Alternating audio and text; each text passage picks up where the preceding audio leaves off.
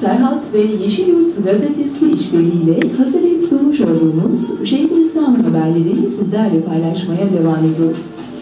Evet bugün aktaracağımız bir başka haber Trakya Birlik 2007 yıl Ayçiçeği Alım kampanyası başlatacak şeklinde.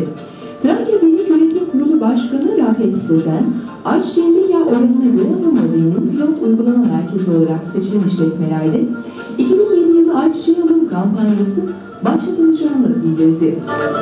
İlan edilecek olması bu sebeple Trakya'ya yayılacak olan endüstri kuruluşları ve diğer firmaların Kırklareli Organize Sanayi Bölgesi'ne ayrı bir el sanayi arsaları üzerinde ipotek bulunmayışı ve tahmin kabiliyetiyle tüm Marmara bölgesinde dikkat çekiyor denmiş.